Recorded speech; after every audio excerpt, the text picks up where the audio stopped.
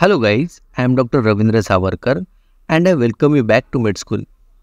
I am starting a video lecture series on chest x-rays and this is part 1 of the same. First let's understand the basic principles of technique of x-ray. X-ray console has many parts but for time being we should know that there is an x-ray tube which emit x-rays and x-ray cassette which has x-ray film inside. If an object is put between X-ray tube and X-ray film, it will cast an image on X-ray film. The density of the object determines the property of image on X-ray film. If the object is denser like solids and liquids, the image on X-ray will be white. While if the object is less dense like air, image on X-ray film will be darker. The size of image compared to its actual size depends on distance of X-ray tube from the object and distance of object from X-ray film. If the tube is moved closer to the object, image will become larger. However, borders of the image will not be sharp. As the object moves closer to the film, image size goes on decreasing. When an object is very close to the film, the size of image is approximately the same size and the borders of the image will be sharp. Before interpreting any chest x-ray, one should first confirm that x-ray is done properly. Interpreting an improperly done x-ray can lead to diagnostic mistakes. That's why in this video, we will be discussing about the technical aspect of x-ray. These aspects are name of the patient on x-ray, labeling of side that is right or left on x-ray, then what projection is used, if there is any rotation seen on x-ray, is exposure is adequate or not, and lastly whether x-ray is taken in inspiratory or expiratory phase. Just like any investigation, x-ray should be interpreted with clinical settings. For that, one should first be sure that X-ray of the same patient is being interpreted. Nowadays, patient's details are always mentioned on X-ray. However, site may vary. Sometimes it can be on lower strip or in the corners. Side on X-ray is usually denoted by letter R for right side and L for left side.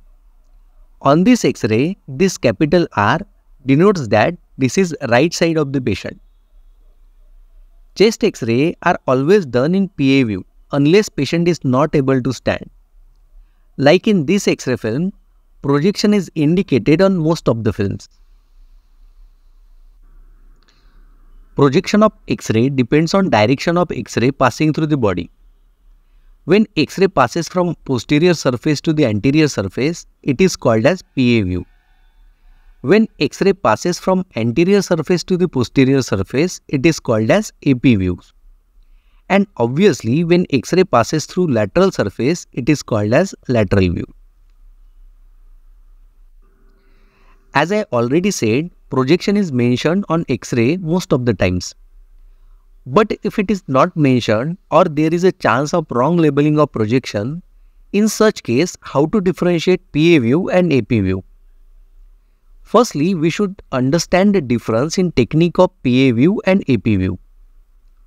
In PA view, posture of patient is standing, while in AP view, posture of patient is supine.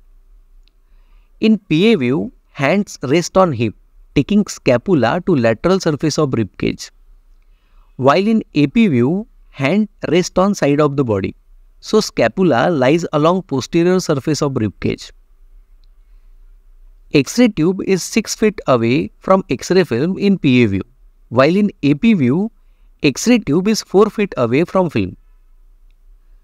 In PA view, heart is closer to the film, while in AP view, vertebra are closer to the film.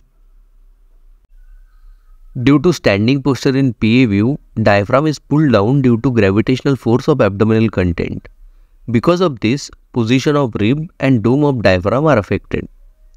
In PA view, anterior ends of rib are lower than posterior end, so that ribs are tilted, while in AP view, ribs are more or less horizontal.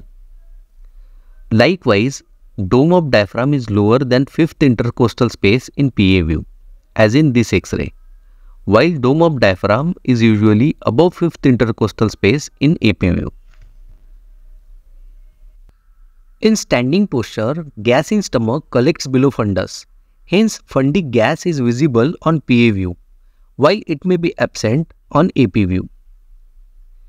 In PA view, heart is closer to film and tube is 6 feet away. Hence, cardiac silhouette is approximately of similar size of heart and borders are sharp.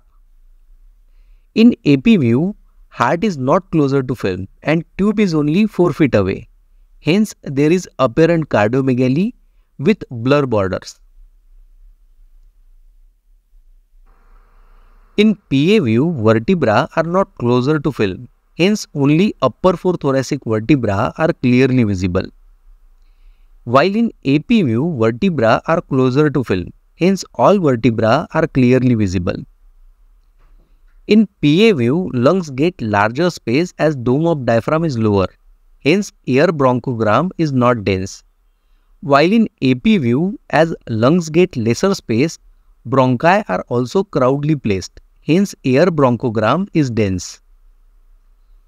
In PA view, scapula lies along lateral surface of rib cage. Hence, scapula does not encroach lung fields. While in AP view, scapula lies along posterior surface of rib cage. Hence, they encroach the lung fields. Rotation of X-ray can be judged from position of spinous process with respect to medial border of clavicles. If spinous process are equidistant from medial border of clavicle as in this X-ray, then there is no rotation. If spinous processes are deviated from midline, then it indicates rotation as in this X-ray. Rotation can bring false changes as trachea appear to be shifted to opposite side. Hilum on the same side becomes prominent. Dome of diaphragm on the same side appears to be elevated and lung field on the opposite side appears hyperlucent. Exposure of X-ray can deviate to either side. X-ray can be overexposed or underexposed. In overexposure, vertebra, clavicle and cardiac silhouette becomes more prominent and more than 4 vertebra in PA view X-ray becomes visible. In underexposure, ribs and lungs becomes more prominent and less than upper four vertebra in PA view X-ray are visible. I want you to remember that brighter looking X-rays are in fact underexposed. Chest X-rays should ideally be done in full inspiration, but sometimes chest X-rays can be taken inadvertently in expiration. This can also produce false changes, like in this X-ray. Despite being PA view, there are elevated dome of diaphragms, aberrant cardiomegaly and widening of mediastinum. Chest X-ray lateral views are done occasionally to evaluate retrocardiac and mediastinal pathologies. I hope you have understood the technical aspect of chest X-rays and you will be able to spot the technical abnormality in this X-ray. Please write your opinion in comment section. Thank you for watching this video till the end. If you have any query or suggestion, please write it down in comment section. If you like my work, please like this video and share it with your friends. To get notified about next video upload, please subscribe to the channel and hit the bell icon. Till next video, take care and keep learning.